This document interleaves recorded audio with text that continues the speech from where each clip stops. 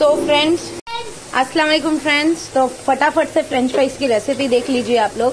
ये दो आलू ले लेंगे, उसको ऐसे शेप्स में काट लेंगे। घर में कैसे क्रिस्पी बनते हैं वो ही रेसिपी आप लोगों को बताऊँगी। ज़्यादा कुछ नहीं करती हूँ, ये मैंने टू दो मिनट में तैयार की हूँ। सिर्फ़ इसको कट कर लेंगे, जैसे कि छन्नी में मैंने इसको अच्छे से वॉश करके सुखा ली थी, थोड़ा सा हल्का सा। पानी पूरा निथरे तक, फिर उसके उसके बाद मैंने उसमें कॉर्नफ्लावर आटा मिक्स करके डायरेक्ट तेल में डाली हूँ।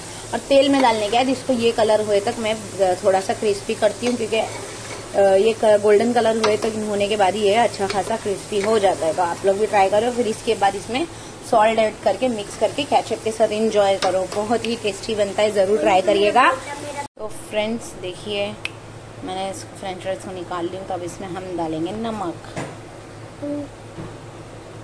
देखो नमक डाले मेरे गाइस मम्मी।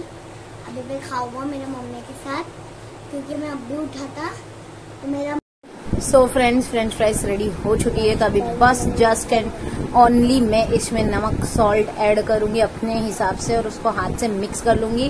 पहले नमक ऐड नहीं करना है आलू में, आलू के फ्रेंच फ्राइज के कटिंग्स में।